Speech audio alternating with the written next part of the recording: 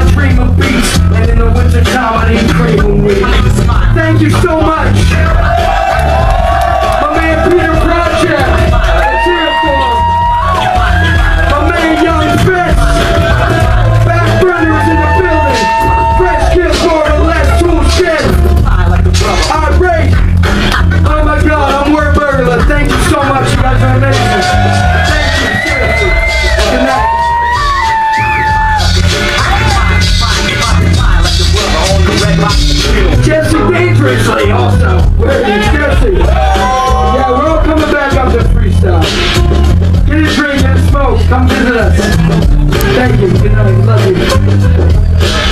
you.